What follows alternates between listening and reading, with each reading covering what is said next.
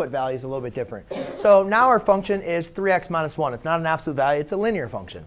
Um, but now my input value, as you guys can see, is an expression. It's not a number. right? The numbers are fairly easy. Everybody's kind of used to, oh, just plug in whatever that number is in for x.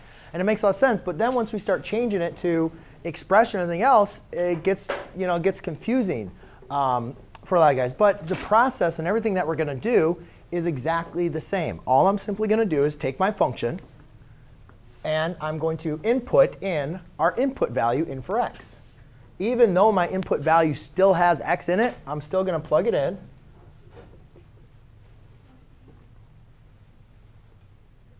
So do you guys see how I replaced x with 2x plus 2, which is my input value?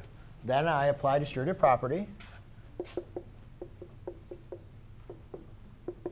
and simplify.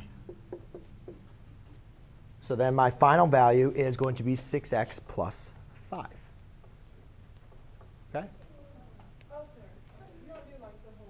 You don't have, there's nothing else you need to do.